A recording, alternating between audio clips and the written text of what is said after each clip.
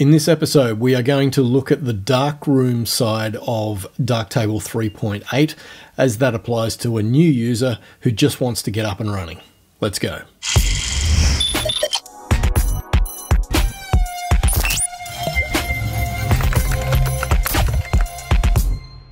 Hi, and welcome to take two of episode 106 for Understanding Darktable.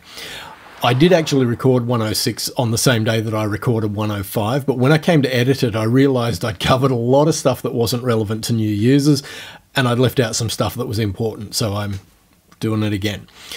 Okay, so we've got these half dozen images that I shot in my backyard last week. And if we want to start processing any one of these images, you can simply double click on it to load that image in the darkroom view. So we jump over to the darkroom and we'll start with the thumbnail up in the top left hand corner. That thumbnail will always be there and show you the full version of the image, even if in the main editing part of the UI you've zoomed in on your image. And you'll see in the thumbnail that the rest that's hidden gets dimmed and just what you're viewing is still at full luminosity. You can left click anywhere in that thumbnail to jump around within the image. So if you have zoomed in but you think, oh, I just want to check out that part down there, you can simply click and jump to that area of the image. Snapshots. This is important if you are coming from Adobe Lightroom. The snapshots in Darktable do not work the way you might expect them to. It's not like take a copy of the entire history state. So if I stuff everything else up by tweaking things, I can simply jump back to that snapshot or that moment in time. That is not the way snapshots work in Darktable. The way these snapshots work is that they simply capture a bitmap image of the way your image looks at a given point in time and you can then use that to compare as you start making changes to the processing of the image. But they do not allow you to get back to where you were at the point when the snapshot was taken. I've covered that in another video, so I'm not going to labour the point right now, but just be aware that that is the case. The history stack. Again, trap for new users. You import a raw file, you open it in the darkroom view, and you see that there are suddenly, you know, 13 or 14 history states in the history stack. And again, this is something that confuses new users. They go, why are there all of these things? Remember in the last episode, I you know brought up the analogy of the sports car with the perspex hood, and you can sort of see inside, you can see everything that's going on. And I said Darktable does this. It shows you everything this is what I mean. All of those history states, or certainly the first 10 of them, are things that every other piece of image editing software that handles raw files, they all do all of those things. They just don't necessarily show you in the history stack within those other applications. It's all happening, it's just hidden from the user with Darktable, it's all there out in the open for you to see. Don't be stressed by it. It's just all of the things that need to happen with a raw file in order to display an image on your screen, like you know, a raw black and white point. Demosaicing needs to be applied to the raw data. An input color profile and an output color profile both need to be applied in order to display the image. Right, and we could go on, but you get the idea. These things all have to happen with every image. Now, if you load a JPEG, you will notice that this history stack is much shorter. It'll probably be only four or five steps. But again, they are things that have to happen in order for Darktable to display the image to you on your computer monitor. Don't stress. The pixel pipe. This is a term you will hear as you spend more time with Darktable, and it refers to the order of operations as you are processing an image.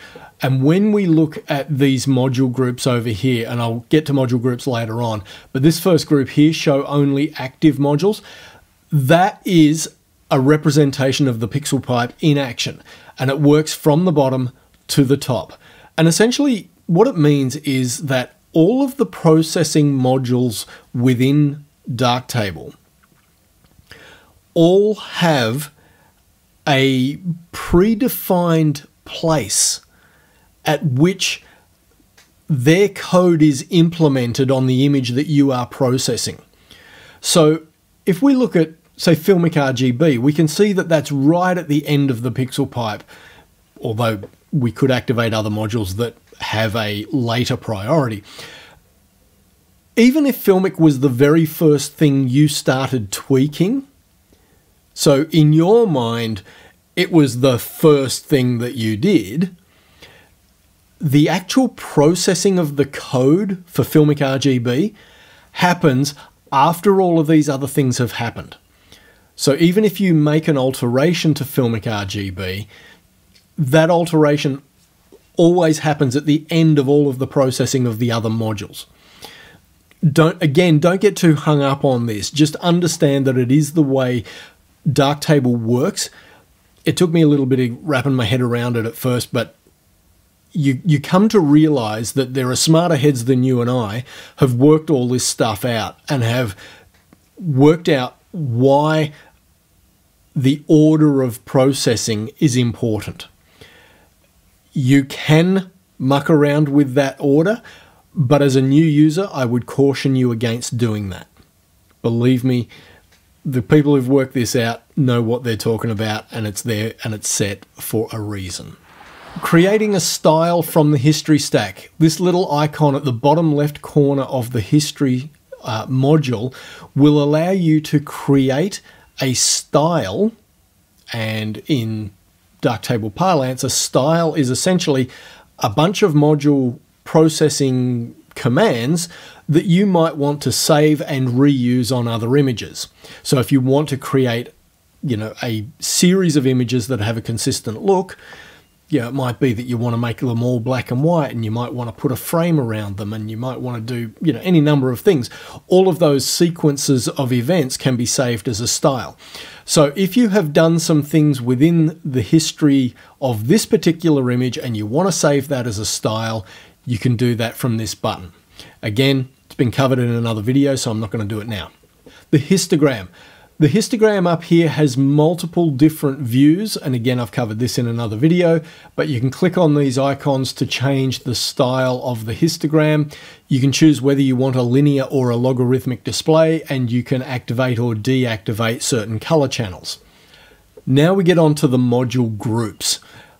If we click on the hamburger icon on the right hand side here, you'll see there's a bunch of different module presets here. We can click on modules all and that will show us all of the modules that exist within Darktable. Just a quick diversion. You'll notice that to move up and down this list, you need to get your mouse over this scroll bar and drag up and down. However, there is a keyboard shortcut and that is Control Alt and that will allow you to mouse over the middle of the modules and simply scroll your mouse wheel to run up and down the list of modules that are on display. Okay, getting back to the module groups, you will notice that there is a default modules preset, and every time you change one of these presets, you'll notice that the icons here change. For most of them, you will always see the show active modules group, uh, and then there will be other options. Deprecated refers to the fact that there are certain modules within Darktable that have been relegated to the sidelines because the code is not particularly well implemented. Those modules, if they have been deprecated, it is because they have been replaced with something better. I would recommend that you look at the workflow scene referred preset. Display referred and scene referred again is the topic of another video that I've previously done. Definitely go and have a look at that. Scene referred is what we want to be using going forward. However, I've created my own preset group, which I've called Bruce. If you want to get into that, you can do it through the Manage Presets option, which will launch this window. Again, I've covered that in another video, but at least understand that that is there.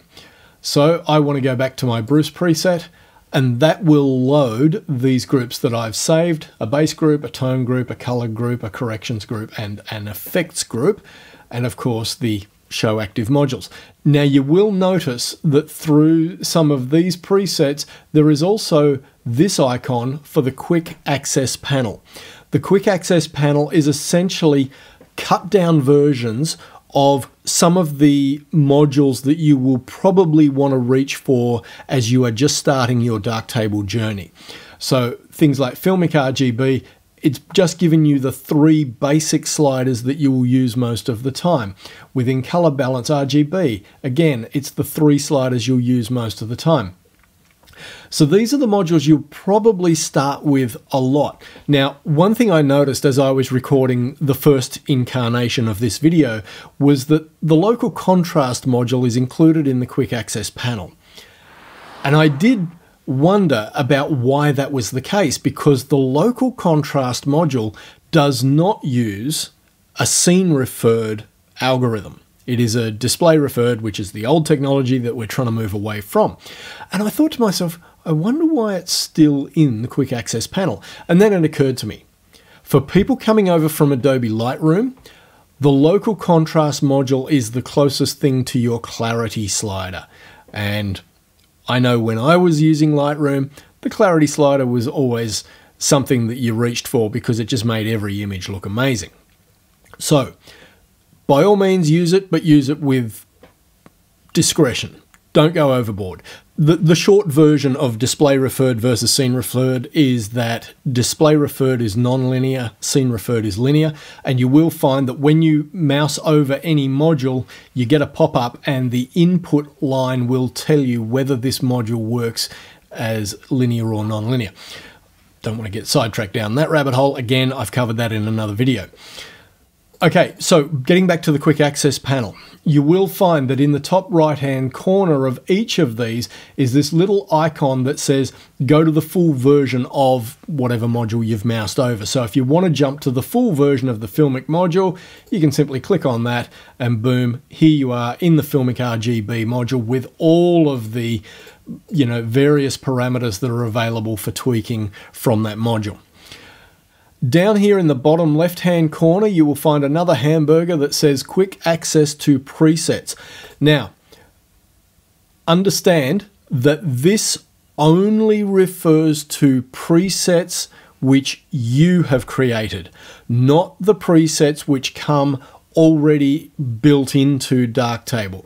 Beside that, you will find the styles button. So if you have saved any styles, they will appear as a pop-up list here and you can simply select a style to have it applied to the image you are currently working on.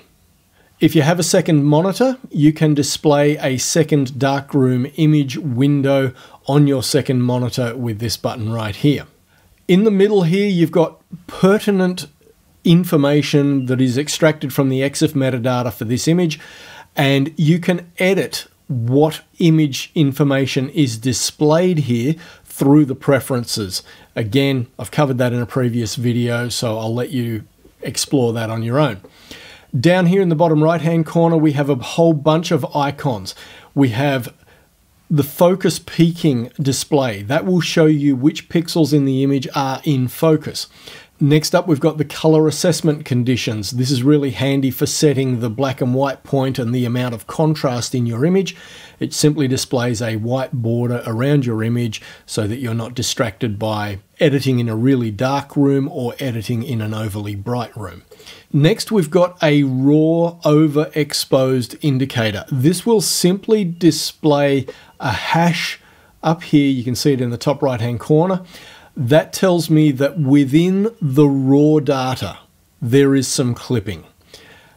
In this particular image, it's not overly out of control. It's enough that I could actually save it with some processing, but that will simply display any clipping that exists in the raw data. Next to that is your standard over and under exposed indicator, which will take into account any processing you've done with modules within Darktable.